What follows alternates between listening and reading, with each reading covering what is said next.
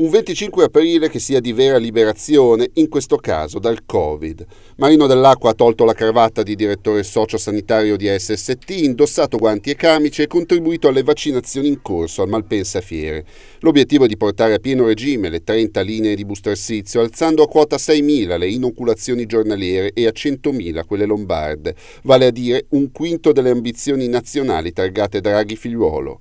Servono le dosi, certo, ma sul punto dell'acqua è ottimista, così come come sul valore delle sinergie che si sono venute a creare, non ultimo il prezioso contributo di un RSA come la Provvidenza che ha mobilitato il proprio personale per vaccinare in esterna. Eh, la nostra idea è che avremo delle linee dedicate alla vaccinazione con personale dell'RSA di questo territorio proprio per far vedere alle persone che tutti si stanno muovendo su questo fronte. Avremo probabilmente del, del privato convenzionato che darà delle linee vaccinali.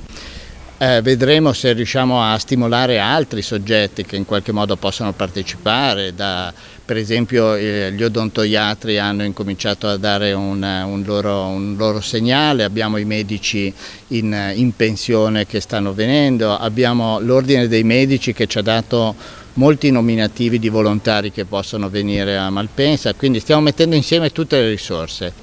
L'obiettivo è arrivare prima dell'estate ad avere una quantità di vaccinati tale da poter eh, pensare in modo sereno all'inizio del dopo estate.